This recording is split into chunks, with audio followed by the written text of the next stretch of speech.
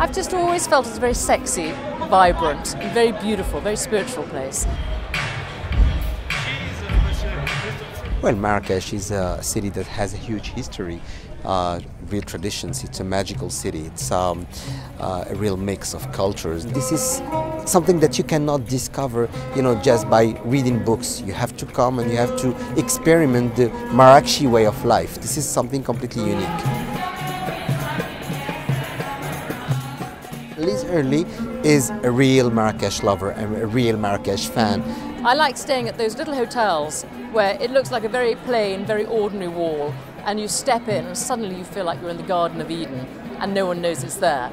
For me, I've stayed in so many really charming little hotels there, none of which I want to mention, so I don't want anyone else going. But um, it's, I think, for, I think everybody can really find something.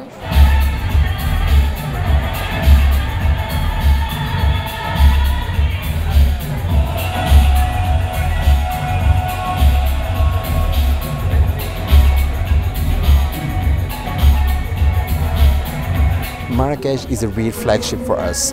It's uh, the number one destination in Morocco. Marrakech will be promoted worldwide in all the big capitals, all the big cities, in order for us to bring a glimpse and to make all these Marrakech future lovers discover this destination and then come back.